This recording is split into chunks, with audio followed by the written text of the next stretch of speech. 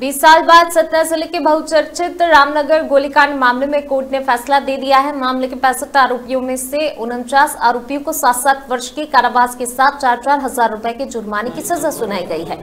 सभी आरोपियों को जेल भेज दिया गया है। सभी आरोपियों के खिलाफ अलग अलग छह प्रकरणों में बत्तीस धाराओं के तहत मामला दर्ज किया गया था। आपको बता दें कि 30 अगस्त 2022 2002 को रामनगर में एक आदिवासी युवक महेश कौल की सामान्य मौत हो गई थी। मृत युवक डॉक्टरों ने पोस्टमार्टम नहीं किया था, जिसके बाद आक्रोशित ग्रामीणों ने उग्र प्रदर्शन भी किया। उस समय शांति बहाल करने के दौरान तत्कालीन कलेक्टर, एसपी समेत पुलिसकर्मियों पर पथराव हुआ था। आत्मरक्षा में पुलिस की ओर से भी फायरिंग की गई। इस घटना में दोनों ही पक्ष के दर्जनों लोग घायल हुए थे, जबकि तीन लोगों की पुलिस फायरिंग में मौत भी हुई थी। ये आगे आ गई एक एक से ये करीब 20 साल पुराना केस है।